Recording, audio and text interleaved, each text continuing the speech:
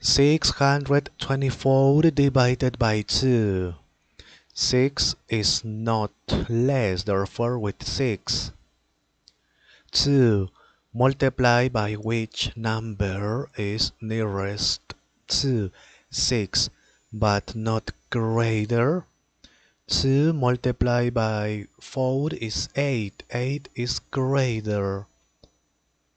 Multiply by 3, 6 is not greater. Okay. Subtract 6 minus 6, 0.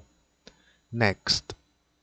Eliminate 0 here. Okay. 2. 2 multiplied by 2 is 4, is greater.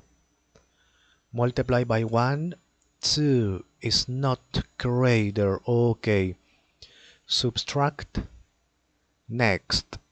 Eliminate 0 here. Okay. 4. 2 multiplied by 3, 6 is greater.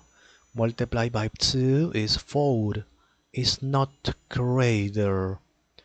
Okay. Subtract 4 minus 4, 0. 0, therefore, next.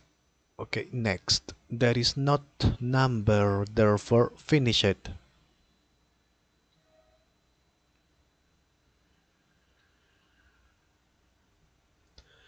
Okay, 624 divided by 2 is 312.